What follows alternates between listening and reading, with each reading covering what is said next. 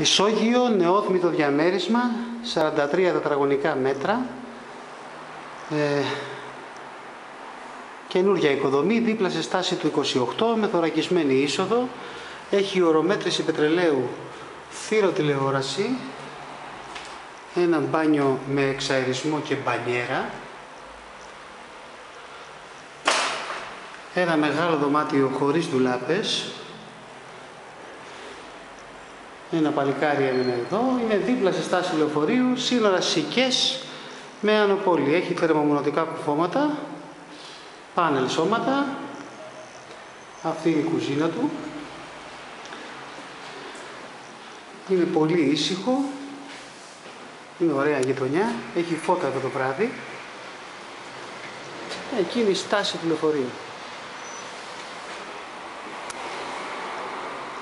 Καλή κατάσταση.